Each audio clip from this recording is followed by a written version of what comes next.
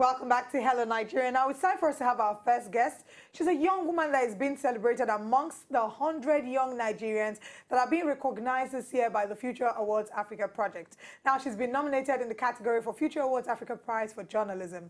She's a young woman who runs an investigative journalism bit for the Nation newspaper where she exposes organizations and individuals that partake in activities that are dangerous and harmful to our health and to Nigerians. She also she points the light, or rather she shines the light on poor communities in Nigeria, bringing awareness to them and seeing how well we can be a part of them. She's won several awards. She recently was awarded the Nigerian Academy of Science Awards. She was also a 27 grantee of Impact Africa, and she's won several other prizes. Today, we're talking about her nomination at the Future Awards Africa Prize for Journalism, and her name is Hannah Ojo. Thank you so much for joining us. Thank you so much, ladies, for having me on the program. Welcome, Hannah. Good to yeah. have you. We're actually, you know, we're related in a way. So we are siblings in the industry. Yes. So we're kind of related. Have you ever considered doing what I'm doing, though? You know, the interesting thing is, when I was growing up, I wanted to be a broadcaster.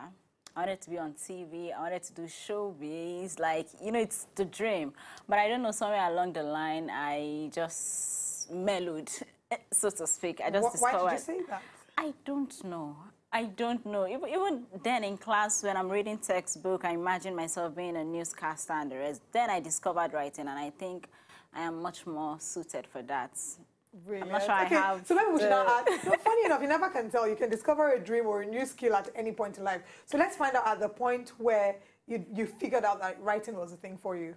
Maybe the opportunities that I had then, because I remember wanting to do an internship at a television station. I didn't get that, so I went to a newspaper. And from there, I discovered, okay, I could write better. I believe I can do the writing aspect better than the talking aspect. Um, I don't really think I'm really fitted for. It's just not that I think I'm sort of like I'm quiet. I don't talk too much. I'm an introvert and so it's just like, you know, as you grow up, you discover yourself and you discover what you're best suited to do. So according to your profile, you do investigative journalism? Yes. How does that work? Hmm. Of course, it's about being curious. It's about taking the extra step, looking for answers to questions or looking at looking at issues that affect people that other people or other journalists may not really pay attention to. Because if you look at the media landscape in Nigeria, it's easy to be carried away by news from politics and economy.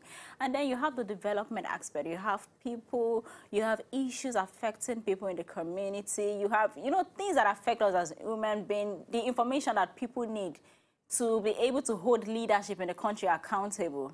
So I think doing that is sort of fulfilling for me. It's part of the mandate of what journalism should be. You go into a place where there is silence and not like you make noise, but you just make sure that people get the right information that they need to make the right decision and you point attention to what is wrong that we need to address so that life can be better for the people. Have you ever gotten to uncover a really dangerous story? We know that recently there was a, the break of the BBC, BBC African Eye story and mm -hmm. the. I think it was codeine, you know, the menace yeah, the of codeine in our society. And we watched that clip and realized how much danger was involved in uncovering these activities. So I'm wondering if you've ever had to be in such dangerous situations yourself? Yeah, the situation that I had, I won't say it was very dangerous. It was just about me finding courage about when I did a report on Sachet Water in Lagos. And I'm like, we had to name this brand. You know, when you name their brand and you put them out there, there's this fear of backlash. They may come back to you and things like that. But I'm like, if you are doing it and we are not naming the bad guys, you've not really done any report because if you're doing a report, people should know. So I would have said that should have been a situation that is sort of dangerous and you're afraid people may come it after you. dangerous. Yes, but you know, there's something about this job when you feel there's this gut feeling that sort of gives you the confidence. Um, once you do it, you just want to go on. And then I believe because my face is not out there, it's just my name that is out there, I can just do it and easily get away That's with it.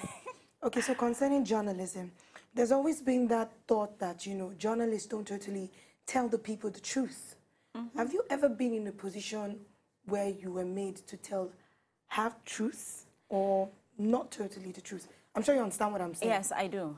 Sometimes, maybe, let me expatiate a bit. Sometimes they'll say maybe on issues concerning national, national security, security, for example. They tell you, oh, you can't let this out. It's going to cause chaos and all of that.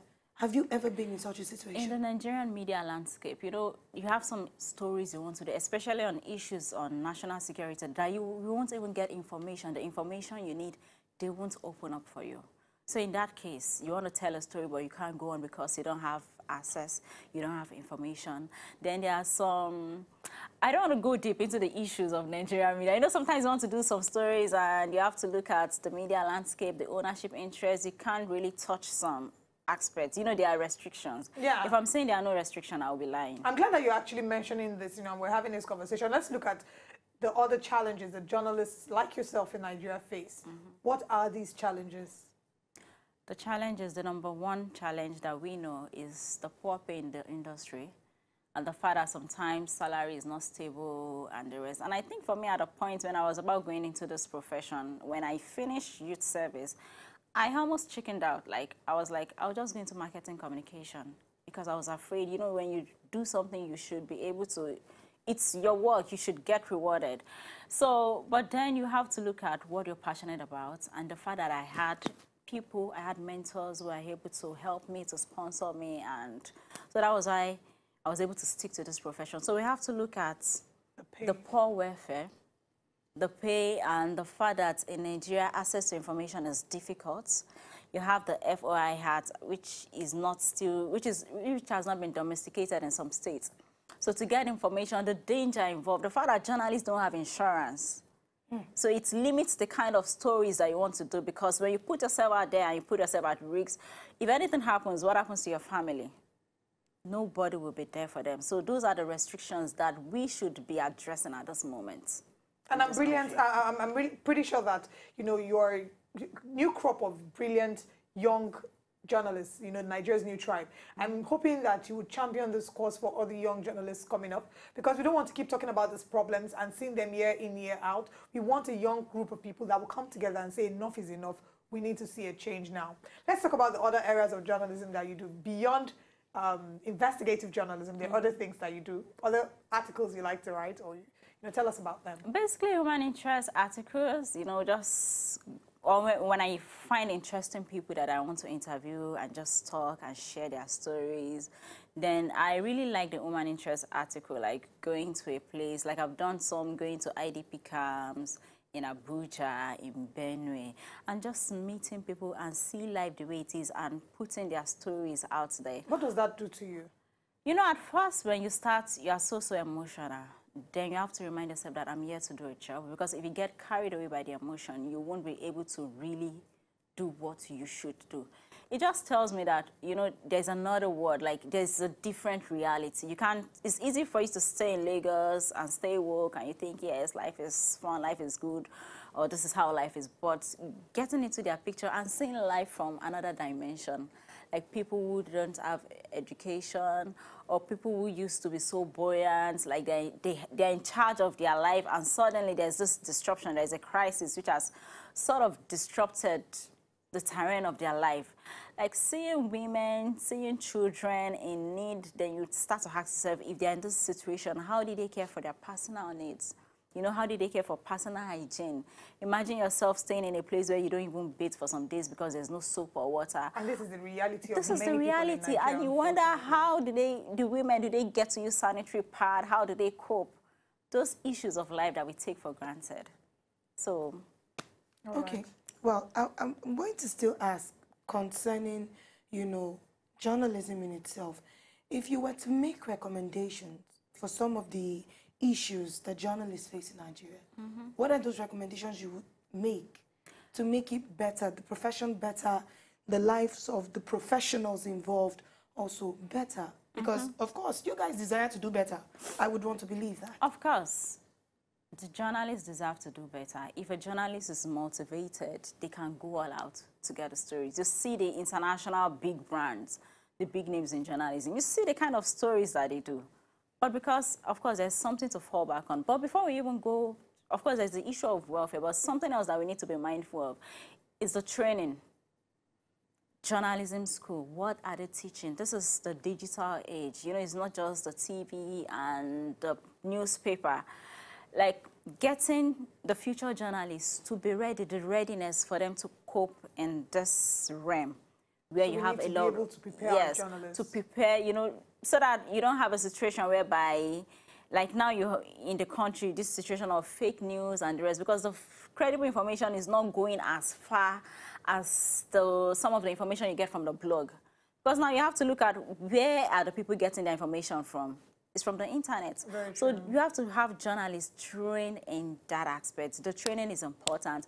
Then the welfare is very, very important. And uh, the training is also important because we want to be able to tell our stories. We don't want foreign media coming here coming in and being here, the ones yeah. to break the big stories, to, which we've seen happen a few mm -hmm. times. But thank you so so much for doing your bit, you know, contributing to ensuring that you help tell our Nigerian story. It's a tradition to ask every nominee that comes here what they were doing at the time they got the nomination letter, so the, the nomination email. So in a few seconds, tell us what were you doing and what was your reaction? Okay, I think it, I got it on a Saturday, and they were like, they were going to announce the next day, and I was like, wow, what was I doing? Possibly uh, Saturdays, I'm in the house, I'm doing shows, or I was on the road, coming back, and I checked my phone, and I saw the letter, and I was like, wow. Did you scream? I did not scream, I was surprised. You know, sometimes when you are so surprised, because I, I don't know, I've gotten other awards before, but when you're getting something from the youth community, and not just any youth community, like a distinguished brand, yes. you wonder like, wow, so these people have been noticing. like Nigerians, we try, we present to you, and our Joe is definitely one of them. Thank you so much for sharing your gift and your talent with us. I'm happy to be here. Thank you for inviting me. And we wish you all the best at the grand finale on the 16th of December at Balmoral Hall Federal Palace Hotel. You get to see who the winners are. All the nominees are winners, first of all. That's mm -hmm. something we must always put out there. Yes. Okay, yeah. Thank you so much. Thank like, so I'm much. looking forward to the day. Same here. Yeah. To enjoy more of these our Ogbonge videos when you just watch, press this button to subscribe on top of our YouTube page. You go love her.